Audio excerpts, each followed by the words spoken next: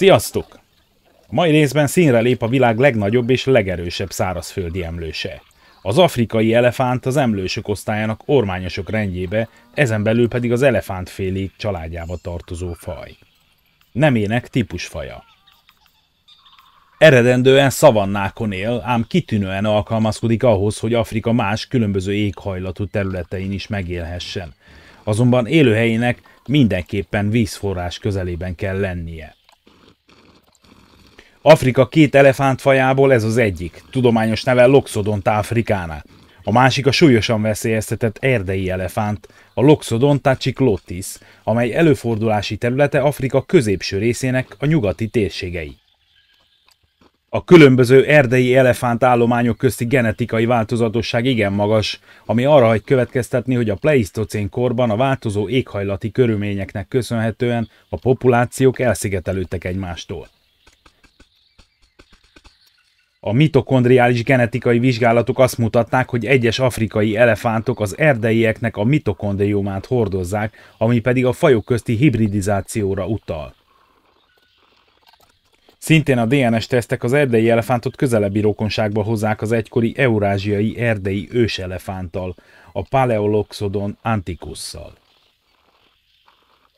1907-ben Richard Lidecker, angol zoológus, geológus és természetíró a fülek méretének és alakjának változatosságából kiindulva hat különböző alfaj megnevezését kezdeményezte, de manapság az afrikai elefántnak nincs alfaja.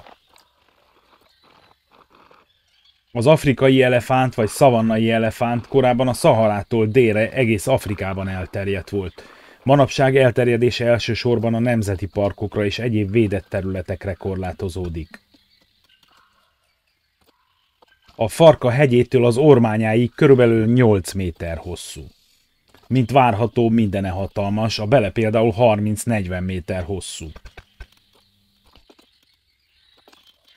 Az afrikai elefánt minden lába alsó oldalán párnázott, így hatalmas tömege ellenére járása viszonylag halk. A bikák marmagassága átlagosan 3,2 méter, a tehenek jóval kisebbek, átlagosan 2,6 méteres marmagasságúak.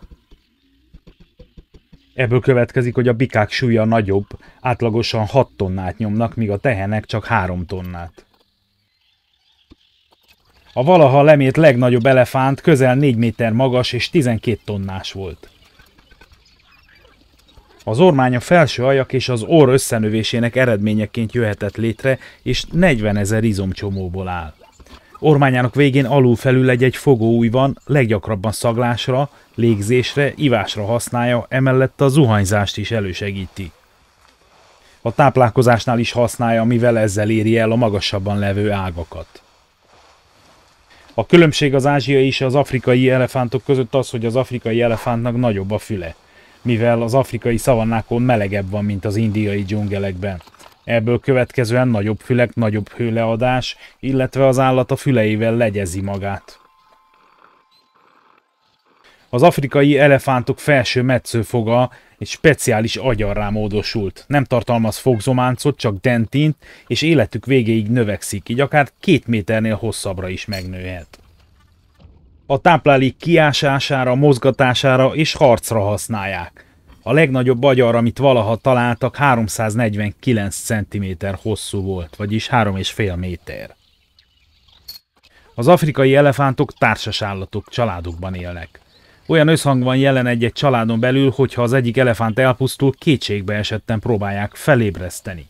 Mikor ez nem sikerül, elkezdik mesterségesen etetni fűvel és más növényekkel, majd mikor látják, hogy ez sem sikerül, akkor ágakkal és levelekkel eltemetik és gyászolják halottaikat.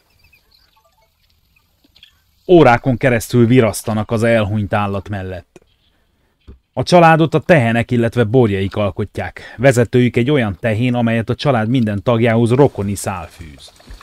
A fiatal bikákat rögtön az ivaréretté válást követően kizárják a családból. Miután a fiatal bika felnő, egyedül él és vándorol a szavannákon. Azonban, ha egy családban egy tehén épp megtermékenyítőképes állapotban van, vagyis üzekedik, rövid időre befogadják a családba a bikákat is. Ilyenkor jól jön a férfi erő. Az elefántcsordák képesek hatalmas távolságokat megtenni, viszont sohasem távolodnak el a víz közelétől. Nem csak az ivás miatt, hanem a testhűtés és higiénia, azaz fürdés miatt is igénylik a vizek közelségét. Fürdés után ormányuk segítségével poros földdel hintik be testüket, amely így a testre ragadva megvédi őket a rovaroktól. Viszonylag sokáig élnek, átlagosan 60-70 évig. Gyakran egész prózai oka van elhalálozásuknak. Kihull a foguk, és nem tudják többé megrágni az ételt. Ha egy család fás füves szavannára érkezik, ahol nehezen veszik észre egymást a magas bokrok között, akkor mély morgó hangokat hallatva tudatják egymással, hogy hol vannak. Ezt korábban gyomorkorgásnak hitték, de most már azt mondják, hogy a hang az orr, a garat és az ormány mélyéről érkezik.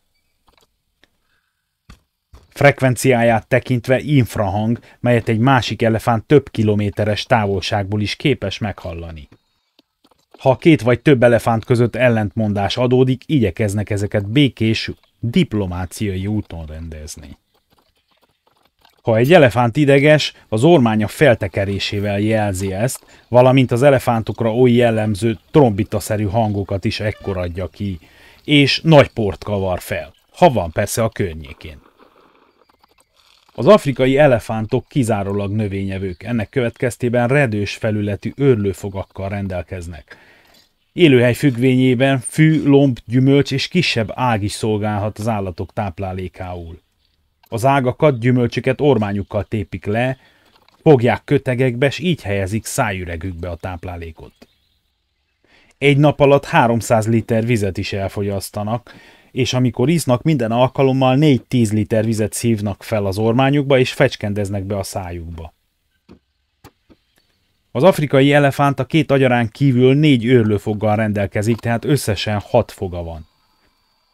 Ha az elefánt elveszíti valamelyik fogát, akkor az cserélődik. 10-13 évesen dobja el a tejfogait, utána még hatszor cserélődik le az őrlőfog készlet. Kb. 60-70 éves koráig ritka a hetedik cserélődés. Utána, mint említettem, elpusztulhat a fogak hiánya miatt.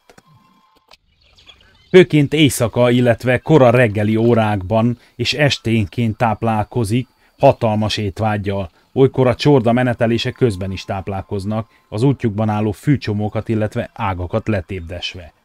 Látásuk viszonylag gyenge, szaglásuk viszont kitűnő. Udvarlás idején a párzani kívánó tehén és bika ormányához egymáshoz dörgölőzik és simogatja egymást. A várható vemhességi idő 22 hónap, amelyet követően a tehén csupán egy elefántból nőtt fia. Az újszülött marmagassága kb. 85 cm, és már ekkor 100 kg-ot nyom. Amikor az elefánttein elleni készül, más tejenek azonnal körbeállják és falat alkotnak. Védik az anyát és az újszülöttet a ragadozóktól. Amikor az anya tisztára nyalta a borját, a többiek is segítenek neki lábra állni. A borjú elválasztása több mint két év után történik meg, és a következő utód megszületését követően is a családban marad. A bika esetében egészen az ivaréretté válásig. Egy tehén átlagosan négy évente ellik egy-egy borjat, így gyakran több borjú is nyüzsök körülötte, egészen 8-10 éves korukig. Egy afrikai elefánt naponta akár 225 kg táplálékot is elfogyaszt, és egyszerre akár 136 liter vizet is megiszik. A kevés rendelkezésre álló víz, elsősorban a szavannai éghajlat száraz évszakában, az afrikai elefántok homokos talajban túrnak vizet keresve. Lábaikat, ormányukat és agyaraikat használva többnyire sikeresen törnek utat a talajvíznek. Kevés állat képes erre, például a méhészborz ezek közé tartozik. Az afrikai elefánt képes kitartóan 8-9 km per órás iramban haladni, anélkül, hogy kifáradna így egy vándorló elefántcsorda naponta akár 80 kilométert is megtehet. A maximális sebessége ismeretlen. Az elefántok nem képesek ugrani, azaz mind a négy lábukkal elemelkedni a föld felszínéről. Ugyanakkor képesek sírni, nevetni, játszani, és nagyon jó a memóriájuk. Ha a csorda egy tagja hosszabb ideig távol van, visszatértekor az elefántok üdvözlik. Az afrikai elefánt vadászatát törvény tiltja, ennek ellenére egyes gazdag emberek szép dolognak tartják ékszereiket, bútoraik díszeit elefántcsonttal díszíteni. Csak Kenyában az elmúlt néhány évben 150 ezerről az elefántállomány mintegy 30 ezerre csökkent. A vadorzók intenzív felkutatásának ellenére a vadörök legtöbbször tehetetlenek a pénzéhes orvadászokkal szemben. A Természetvédelmi Világszövetség az afrikai elefántot a veszélyeztetett kategóriába sorolja, míg az erdei elefántot a súlyosan veszélyeztetett kategóriába. 1989 óta tiltott az elefántagyar és az abból készült tárgyak nemzetközi kereskedelme, melyet a Washingtoni Egyezmény, vagyis a CITES szabályoz. Magyarországon egyedül a Nyíregyházi állatparkban látható afrikai elefánt. Ott jártam, kor lefilmeztem, hogy az egyikük éppen szórakozik egy hatalmas gumiabroncsal. Az ókori Rómában az elefántot Merkur isten megtestesítőjének tartották. Afrikában totem állat és egy bölcsességgel és igazságossággal felruházott vezetőt személyesít meg, valamint a hatalmat és a nemességet is szimbolizálja. Sok ázsiai országban szent állat, de erre majd kitérünk egy másik videóban. Az elefántnak tulajdonított erények tartsanak meg mindannyiunkat. Ne felejts el feliratkozni, ha még nem tetted. Nyomd meg a like gombot, és írd meg a véleményed. Köszönöm, hogy megnézted. Legyen szép napod!